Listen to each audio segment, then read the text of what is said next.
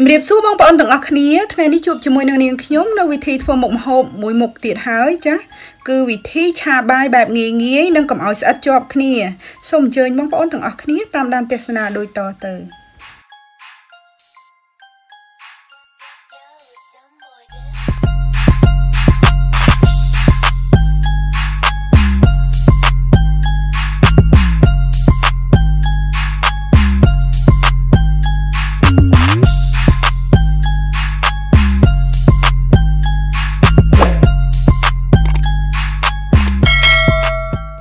ចានេះគឺជាគ្រឿងផ្សំសម្រាប់ធ្វើបាយឆាអញ្ចឹងមានតែបាយកកហើយពងមាន់ចាក្របពោតផ្អែមសាច់ក្រកក្របសណ្ដែកសៀងខ្ចីហើយក្រៅពីហ្នឹងមានតែស្ករអំបិលម្រេចអីហ្នឹងចាហើយនៅក្នុងវីដេអូហ្នឹងផងដែរគឺនាងខ្ញុំនឹងបង្ហាញអំពីការរៀបចំបាយប្រអប់សម្រាប់ឲ្យកូនស្រីខ្ញុំណា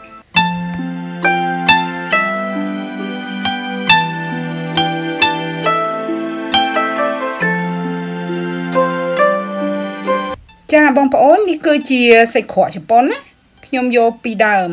យកចេញមកហើយនេះគឺជាពោតផ្អែមផលិតផលរបស់អាមេរិកចាលក់នៅជប៉ុន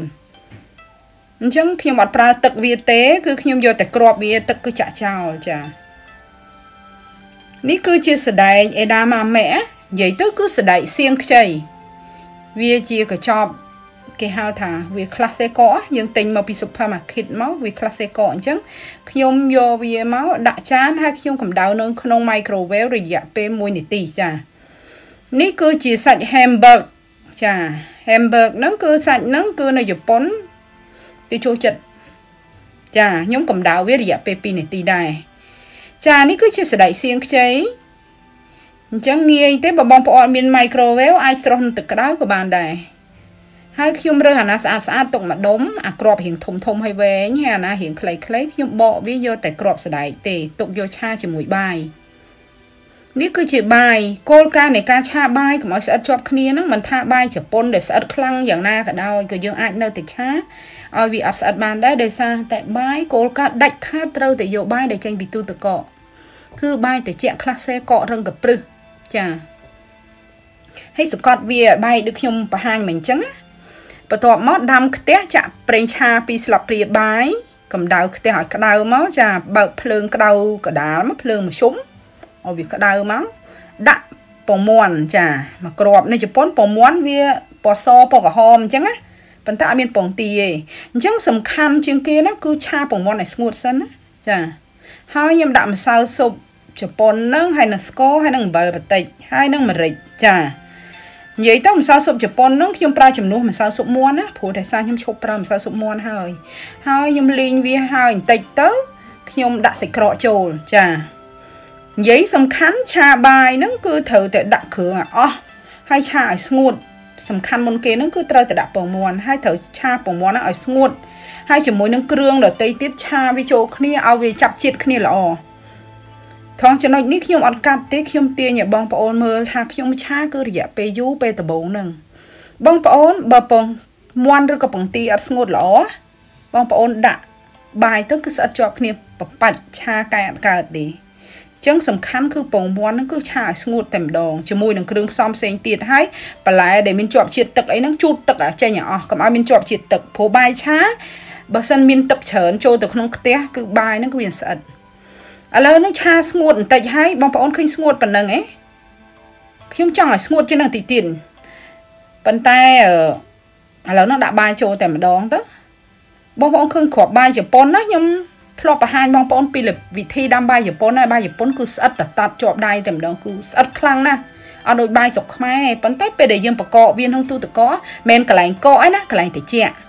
ទុកវាមកយប់ទៅវារឹងកព្រឹសអញ្ចឹងហើយយើងយកមកឆាគឺល្អបំផុត បើបាយស្រុកខ្មែរយើងយកដាក់ក្នុងទូទឹកកកដែរឲ្យវាកកសិនចាំយកមកឆាណានេះគឺតិចនិចសម្រាប់ឆាបាយហើយឆាតាមមកផ្លែតឲ្យសាច់បាយវាចាប់ជាតិជាមួយនឹងគ្រឿងផ្សេងហើយវាក្តៅទៅវាទុនគ្រាប់បាយបន្តិចអាចបិទភ្លើងបានឥឡូវខ្ញុំបិទភ្លើងហើយបងប្អូនមើលគ្រាប់បាយចាវាអត់ស្អិតតតាត់ទេពងទាគឺរាយរាយចាគ្រាប់បាយក៏រាយរាយដែរចា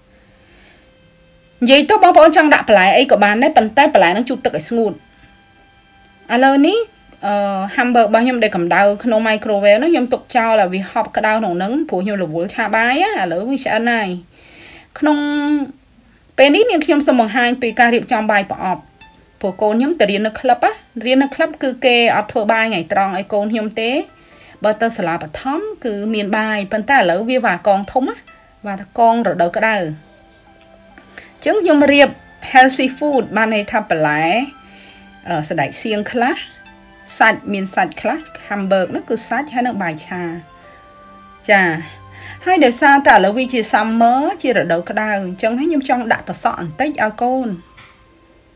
ចានិយាយទៅកូនស្រីខ្ញុំក៏ប្រាប់ម៉ាម៉ាត់ថាអញ្ចេះគាត់ខ្លាចធាត់កុំឲ្យដាក់ច្រើនពេកកូនខ្ញុំទៅអាយុ11ឆ្នាំនឹងខ្លាចធាត់ឥឡូវនេះខ្ញុំស្រោះការ៉ុតបន្តិច ការ៉ុតនេះខ្ញុំកាត់វាជារាងបេះដូងណាហើយតសក់ខ្ញុំចិត្តវាជាចំណិតចំណិត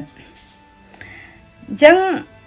ដោយសារតែការ៉ុតហ្នឹងគឺវាមានជាតិសើមអញ្ចឹងខ្ញុំជូតវាបន្តិចខ្ញុំយកกระดาษ kitchen pepper ហ្នឹងមកចាដាក់វាពីក្រោមការ៉ុតហ្នឹងហើយគ្របវាសកត់វាបន្តិចដើម្បីស្រូបឲ្យវាស្រូបយកទឹកចេញណាពីការ៉ុតឥឡូវខ្ញុំដាក់តសក់និយាយទៅបងប្អូនញ៉ាំអញ្ចឹងអត់ធាត់ទេ បងប្អូនមើលអាហារបែបហ្នឹងណាយើងពេលដែលយើងធ្វើបាយប្រអប់យើងត្រូវគិតពីពណ៌បន្លែឲ្យមានគ្រប់ពណ៌មានលឿងមានខៀវមានពណ៌ទឹកក្រូចយ៉ាងហោចក៏3ពណ៌ដែរបងប្អូនឃើញអាហារមាន3ពណ៌អត់ពណ៌ទឹកក្រូចពណ៌ខៀវពណ៌លឿងចាអញ្ចឹងតិចនិចក្នុងការធ្វើម្ហូបបងប្អូនសំខាន់ណាយើងមិនមែនគ្រាន់ញ៉ាំឲ្យឆ្អែតឆ្អែតទេ យើងត្រូវគិតអំពីសុខភាពថានឹងរាងកាយយើងទោះញ៉ាំតិចក្តីច្រើនក្តីយើងត្រូវមានអាហារបន្តិចបន្តិចឲ្យបានគ្រប់ពណ៌ហើយបងប្អូនអាយុ11ឆ្នាំដាក់បាយឲ្យគាត់ងាយបំផុតបងប្អូន វិធីឆាបាយនេះឲ្យរៀបចំបាយប្រអប់គឺអត់មានអីពិបាកអី